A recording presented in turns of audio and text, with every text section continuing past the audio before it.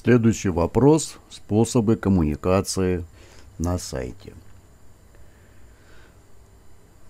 Наш пользователь получил уведомление. Вот оно, непрочтенное уведомление. Количество таких уведомлений обозначается цифрой. Например,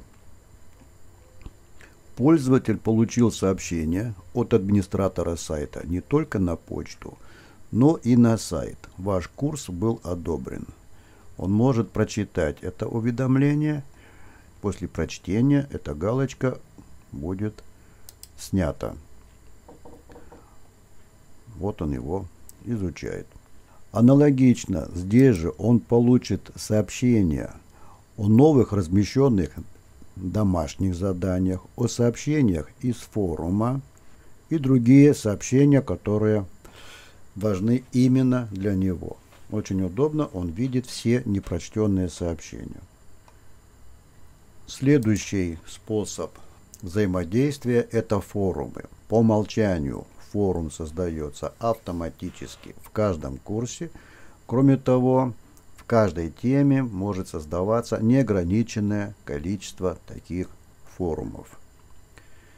Проверим, как работает эта система взаимодействия.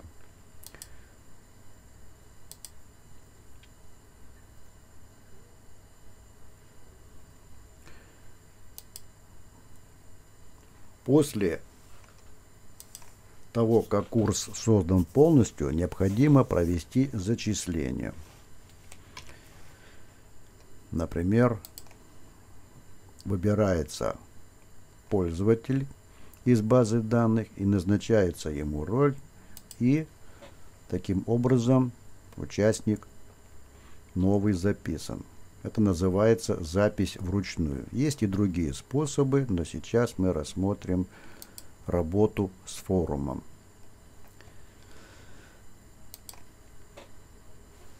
Например, преподаватель открывает новую тему и объявляет зачет, когда проводится зачет. Если хочет отправить пораньше, не дожидаясь периода ожидания, может поставить галочку «Отправить немедленно». Период ожидания предназначен для того, чтобы откорректировать свое сообщение в течение заданного времени и отправляет это сообщение на форум. Все, кто записан в этот курс, получат это сообщение. Вот прозвучал сигнал. Я, как пользователь этого курса, получаю сообщение,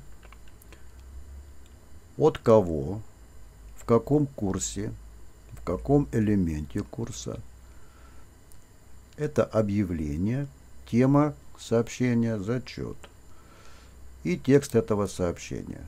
Любой пользователь, входящий в этот курс, может ответить, посмотреть в контексте это сообщение, а также изменить свои настройки дайджеста, чтобы получать не по 10, по 100 писем в день, а получать одно письмо в день в виде дайджеста. Это очень важно, особенно преподавателям, для того, чтобы спокойно выполнять свою работу.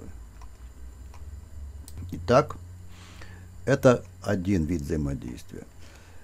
Еще один вид – это взаимодействие с технической поддержкой нашего сайта. Это чат.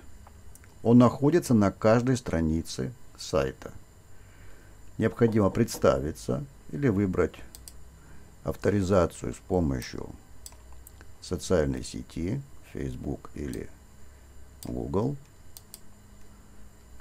Это сокращает время и можно написать вопрос.